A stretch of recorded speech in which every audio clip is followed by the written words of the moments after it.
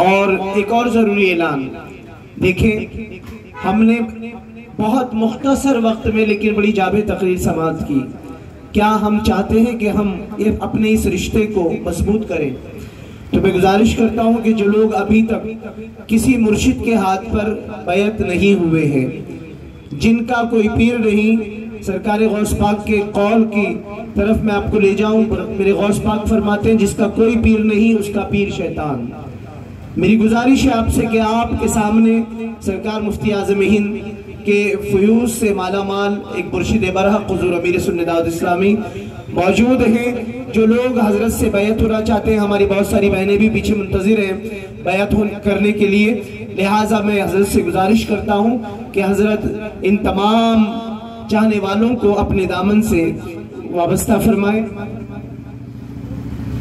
और आज की नियाज जनाब असद अली मोहम्मद शेख की तरफ़ से है। अल्लाह उनको भी बरकत अता फरमाए। हज़रत से मेरी गुजारिश है कि हज़रत तमाम चाहने वालों को जो भी नौजवान हैं, वो हज़रत से बैत कर लें। साथ ही साथ बैत करने के बाद हज़रत का जो शजरा है शजरा बरकातिया, नूरिया, वो यहीं से आपको जो है वो मिल जाएगा, ताकि आप उससे बरकतें हासिल करते रहें।